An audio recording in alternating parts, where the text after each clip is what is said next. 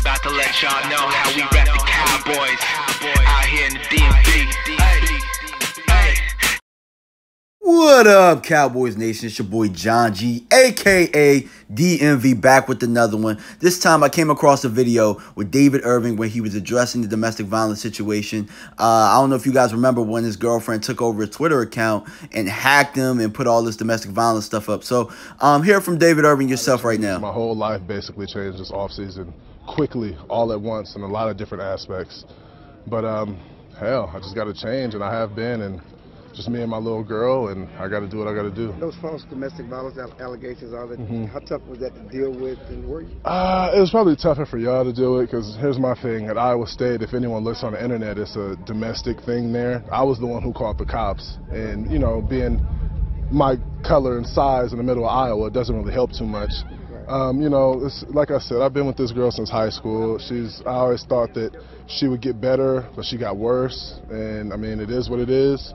Um, I allowed it to be put out there because I stayed with her all this time, and I mean, hell, you know, it's embarrassing or whatever, but you know, no court stuff. It's not a case. Uh, it is what it is.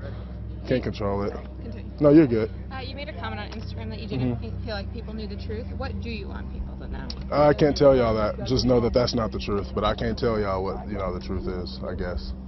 Someone may ask you, are you, are you worried about the NFL looking into it on that side? No, I'm not worried about anything domestic. She's a joke. It's been that way for years. I tried to stay with her because we were high school sweethearts. We had a kid together, but shit, it is what it is. I'm not worried about anything domestic. The stuff I've been dealing with has nothing to do with that at all. That's the least of my worries. Just talk about, you know. And there you have it from the man, the myth, the legend, David Irving. Um, telling you what it is. I feel a lot more confident hearing about a situation uh, with him answering the questions, and uh, hopefully he gets everything resolved uh, rather quickly.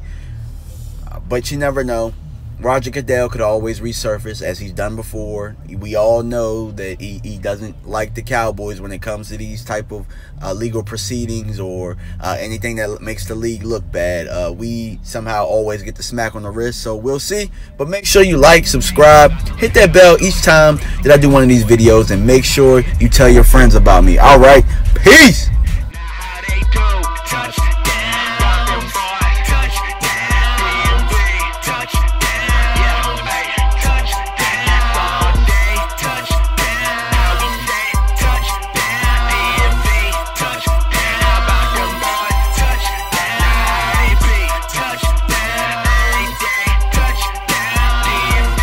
touch.